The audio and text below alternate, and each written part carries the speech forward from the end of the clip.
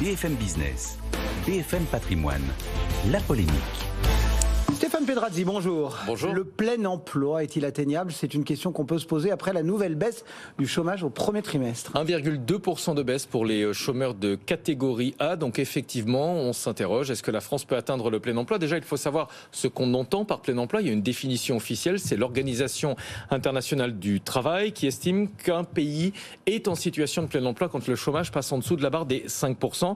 Mais en pratique, on sait aussi que cette notion de plein emploi, elle doit être ajustée en fonction des spécificités de chaque pays et de son économie. Donc à partir de quel taux de chômage en France est-ce qu'on serait en situation de plein emploi? La réponse c'est qu'on est déjà dans cette situation dans pas mal de secteurs où on a du mal à recruter, où les entreprises euh, ont, du mal à, pourvoir des postes depuis assez longtemps. Donc en matière de, de perspective maintenant, où est-ce qu'on va? Si on regarde les prévisions de la Banque de France, on ne va absolument pas dans la direction du plein emploi puisqu'elle prévoit un taux de chômage à 7,7% à la fin de l'année, donc une remontée, et un taux de chômage à 8,3% fin 2024. Donc on aurait plutôt tendance à s'en éloigner.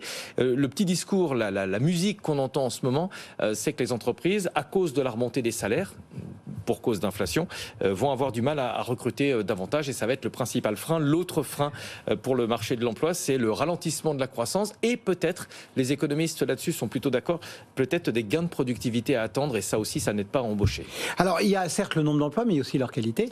Et ça, c'est effectivement un vrai débat, même s'il est beaucoup plus politique et polémique. Est-ce qu'il faut se féliciter d'un taux de chômage qui baisse si la qualité des emplois qui sont créés sont précaires, c'est-à-dire mal payés, sans protection sociale parfois pour ceux qui euh, euh, travaillent de, manière autonome. Les plus libéraux vous diront que c'est toujours mieux d'avoir ce type d'emploi que d'être au chômage. Les plus à gauche, évidemment, parlent d'exploitation mhm. ou d'une nouvelle forme d'esclavagisme.